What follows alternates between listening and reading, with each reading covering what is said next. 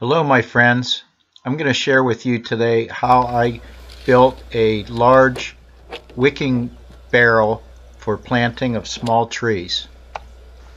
I'm taking a 55 gallon barrel marking out uh, cut lines at 17 inches. This is right in the middle of the barrel. I'm then scribing a line around the perimeter of the barrel.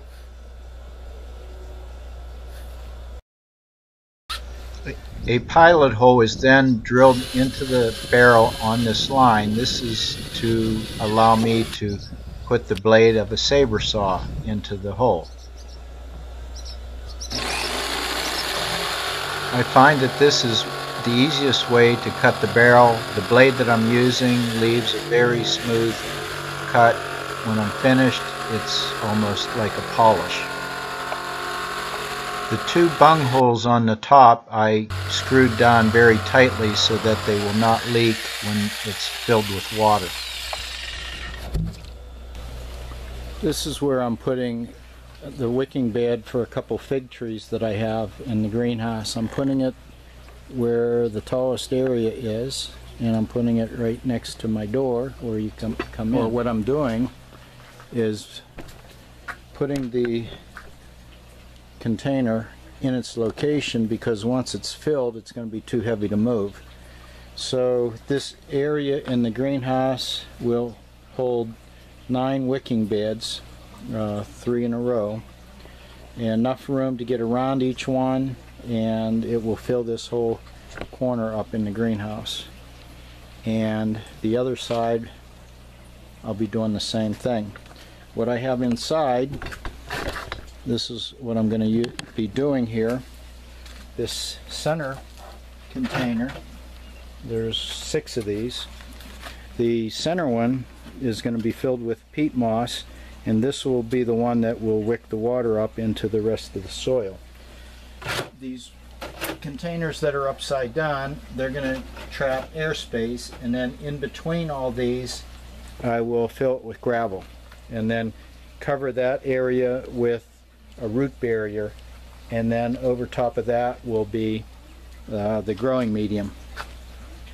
And well let me go and start filling this up. Oh the other thing that I did is let me see if I can focus down there. There is the drain that I drilled and this works right at the height right here. That's about a three-quarter inch hole and that's at the height of the level where the barrier cloth will be.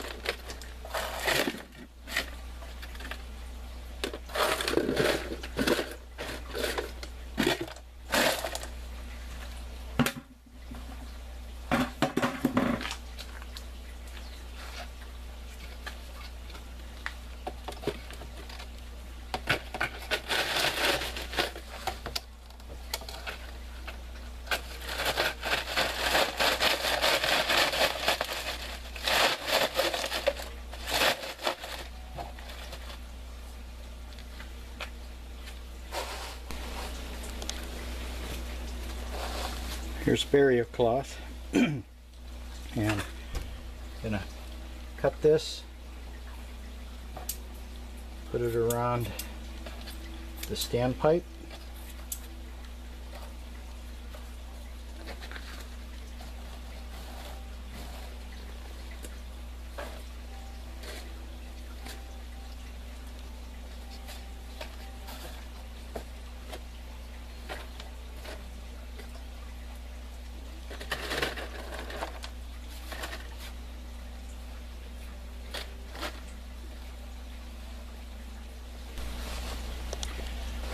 Okay, what I'm going to do next, I got a couple pieces of scrap pipe here. I'm going to put this in the uh, wicking hole, this uh, weeping hole that's in the side. Uh, some of the wicking beds in the past, uh, the soil compacted and would go across that hole. So I'm going to put this inside the hole so that uh, I won't have that compacting. And I'm also going to put this over it to give it some more airspace.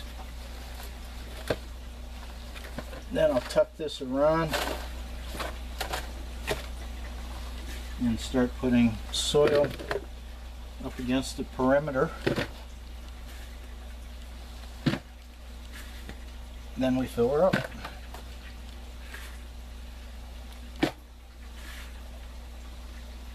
The soil that I'm using is a mix of compost, manure, uh, topsoil or potting soil, and vermiculite and peat moss.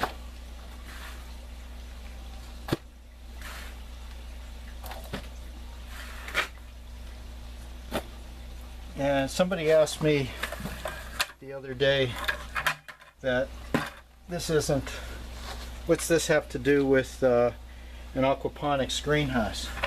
Well, what I find myself doing every day, part of the morning routine, is drain the solids out of the swirl filter and I probably get five to ten gallons of water every day. That water has to be dumped somewhere. So the perfect place to dump it is in these wicking beds. So that's what it's got to do with the aquaponic system. I think it's a very good addition to it. And here's some potting. Nice wigglers.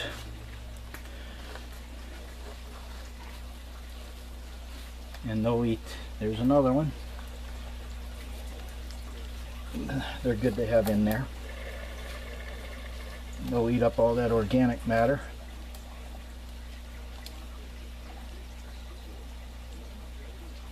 Don't need to see the plants, the weeds. Another one.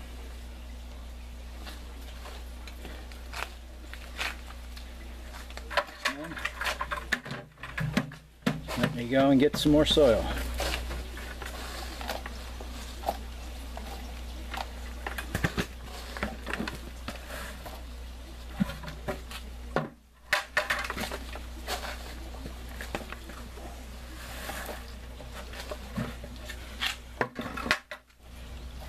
these barrels when you cut them in half it's exactly 17 inches and it makes two halves. You just have to make sure that the top part of the barrel that the uh, plugs are screwed in really tight. Um, I'm gonna put more in the in this. I'm gonna get pretty close to the top of the barrel. Now a wicking system should be able to wick the water up to 18 inches in height in the soil. So that should be no problem at all with this uh, height of the barrel, the half a barrel.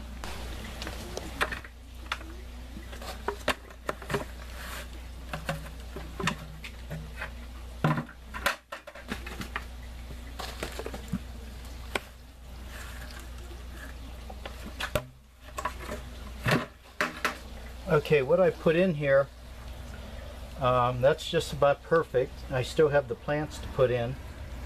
And they're in a gallon uh, flower pot, the same that I put at the bottom of the tank. So there is, if I can remember, five and one. So there's six gallon containers at the bottom of this with the wicking or the root barrier cloth over top of that.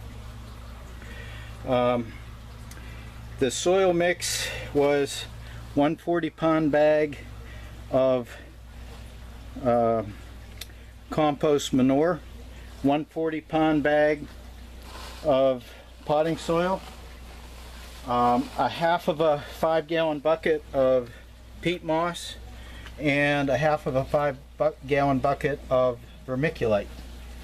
Okay, here's the uh, the fig one of them. And these were started by a friend of mine from cuttings. And we don't want the slugs in here. Slugs are my daily battle.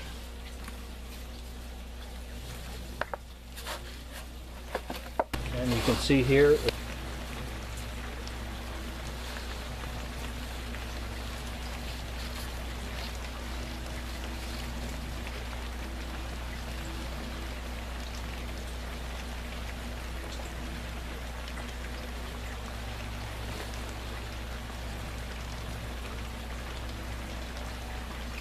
one.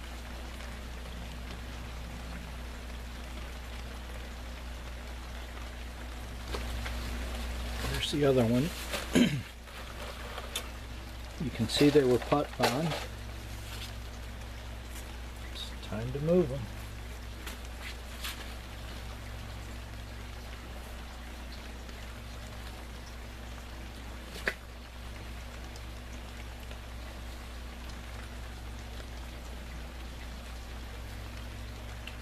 Okay, next thing is top it up with water and let it do its wicking. Thanks for watching my friends. Bye-bye.